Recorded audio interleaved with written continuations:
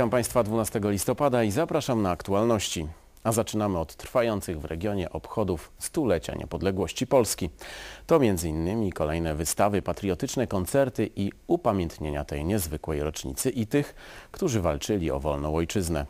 W Baszni stanęło popiersie Józefa Piłsudskiego, w Radomyślu nad Sanem pomnik legionistów, a w Sędziszowie Małopolskim kamienny orzeł zrywający kajdany niewoli.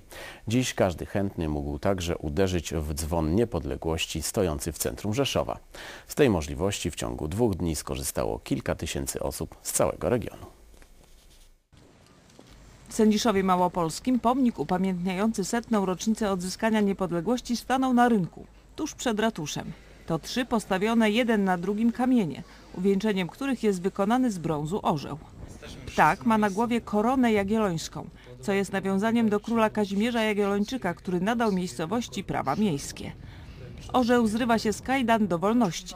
Jak podkreślał podczas uroczystości odsłonięcia pomnika burmistrz Sędziszowa Małopolskiego, to potwierdzenie tego, że społeczność miasta docenia znaczenia życia w wolnej Polsce i wie, jak ważna jest pamięć i szacunek dla tych, którzy o nią walczyli.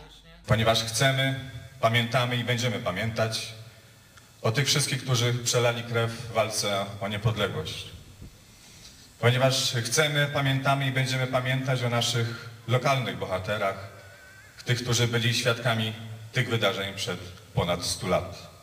Pomnik ma 6 metrów wysokości i powstał według projektu lokalnego artysty Ryszarda Gwóździa, absolwenta warszawskiej ASP, który wygrał ogłoszony przez samorząd konkurs.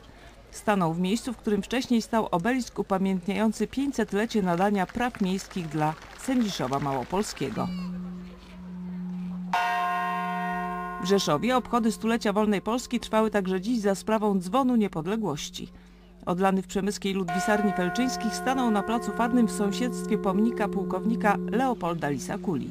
I każdy chętny mógł w niego uderzyć.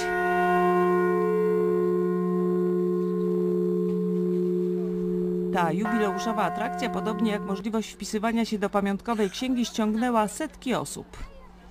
Widzieliśmy go już wczoraj tutaj, ale trochę za duża kolejka była, żeby zadzwonić. Dzisiaj jest trochę czasu więcej, to także warto było przyjść i zadzwonić, prawda? W końcu to stulecie. Bardzo jestem szczęśliwa, że doczekałam tak, takich czasów, ponieważ jestem rodowitą rzeszowianką.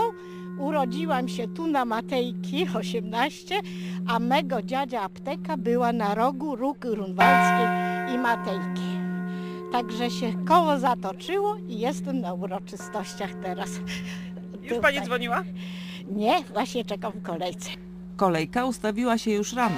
Pierwsze osoby były przed ósmą i tak przez ponad 8 godzin. Uderzenie w dzwon niepodległości i pamiątkowe zdjęcie dla wielu stało się jednym z najważniejszych punktów obchodów stulecia. Jak można przejść w takim dniu i jeszcze pociągnąć za, za ten.